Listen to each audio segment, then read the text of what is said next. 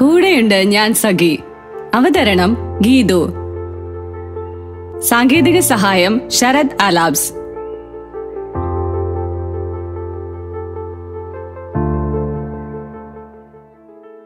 നമസ്കാരം. കൂടെയുണ്ട് ഞാൻ സഖിയുടെ ഒരു പുതിയ എപ്പിസോഡിലേക്ക് എല്ലാ മാന്യ ശ്രോതാക്കൾക്കും സ്വാഗതം. ഞാൻ ഗീതു. ഇപ്പോൾ സ്കൂളൊക്കെ തുറക്കാറായില്ലേ?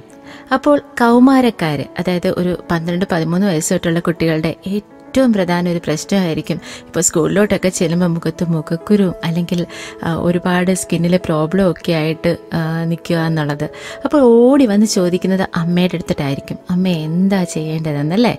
അപ്പോൾ അത് എല്ലാ അമ്മമാരുടെയും ഒരു കൺഫ്യൂഷനായിരിക്കും അപ്പോൾ ഇതിൽ നമ്മൾ ഏറ്റവും പ്രധാനമായിട്ട് ചെയ്യേണ്ട ഒരു കാര്യം എന്ന് വെച്ചാൽ നമ്മൾ സ്കിൻ ആദ്യം തൊട്ടേ നന്നായിട്ട് എങ്ങനെയാണ് കെയർ ചെയ്യേണ്ടതെന്ന് അവർക്ക് പറഞ്ഞു കൊടുക്കുക എന്നുള്ളതാണ്.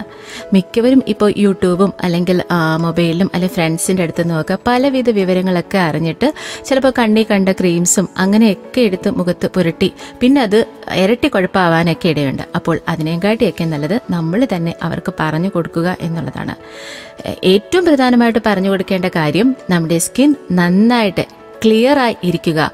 ഒരിക്കലും നിറത്തിലല്ല സൗന്ദര്യം അല്ലെങ്കിൽ കാര്യം ഇരിക്കുന്നത്. ഏറ്റവും നല്ല സ്കിന്നായിരിക്കണം ഏറ്റവും നല്ല ചർമ്മമായിരിക്കണം എന്നുള്ളതാണ്.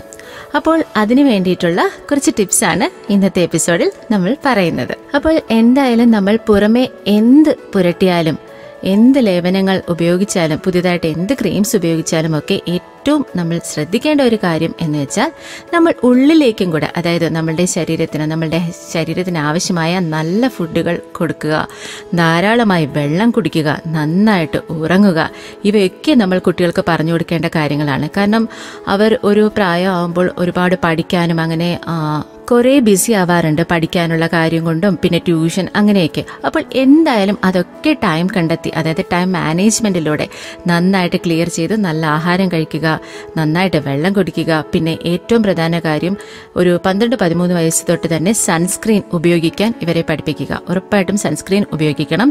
പിന്നീട് നമ്മുടെ സ്കിൻ ക്ലൻസിങ് ടോണിങ് മോയ്സ്ചറൈസിങ് ചെയ്യുക എന്നുള്ളത്. രാവിലെയും വൈകിട്ടും കറക്റ്റായിട്ട് ചർമ്മ സംരക്ഷണം ചെയ്യുക എന്നുള്ളത്. അത് നമ്മൾക്ക് ഒരു കുറച്ച് ടൈം എന്തായാലും കണ്ടെത്താൻ പറ്റും അല്ലേ?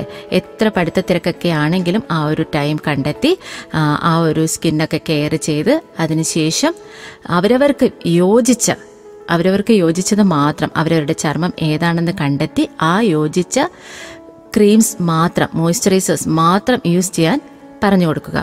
കാരണം ഡ്രൈ സ്കിൻകാരുടേതായിരിക്കില്ല ഓയിലി സ്കിൻകാർക്കുള്ളത്. അപ്പോൾ ഈ കുട്ടി ചിലപ്പോൾ ഡ്രൈ സ്കിൻ ആണെങ്കിൽ അവർ ഓയിലി സ്കിന്നിന്റെത് യൂസ് ചെയ്താൽ അത് അവന് പ്രശ്നമാകാനും ചാൻസ് ഉണ്ട് അവൻ അല്ലെങ്കിൽ അവൾക്ക്.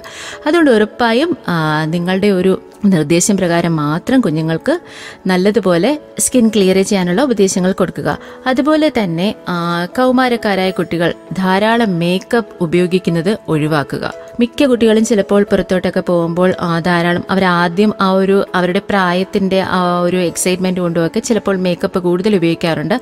ആ ഒരു ചർമ്മത്തിൽ അതായത് വളരെ സെൻസിറ്റീവ് ആയിട്ടുള്ള കുഞ്ഞു ചർമ്മമാണ്.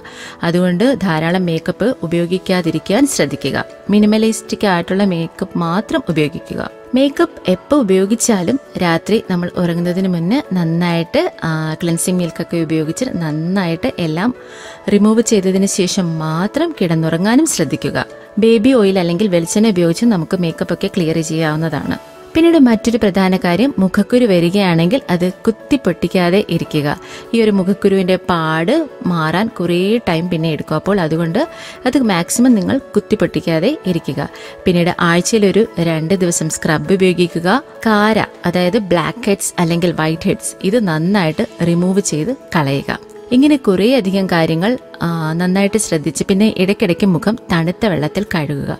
ഈ കുറേ കാര്യങ്ങളൊക്കെ ശ്രദ്ധിച്ച് നമ്മുടെ സ്കിൻ നന്നായിട്ട് ക്ലിയർ ചെയ്യാൻ പറ്റുന്നതാണ്. അപ്പോൾ ഇന്നത്തെ ഈ ടിപ്പ് എല്ലാവർക്കും ഉപകാരപ്രദമാകുമെന്ന് വിശ്വസിക്കുന്നു. വീണ്ടും അടുത്ത ആഴ്ച പുതിയ ടിപ്പുമായി കാണാം. എല്ലാവർക്കും നന്ദി നമസ്കാരം.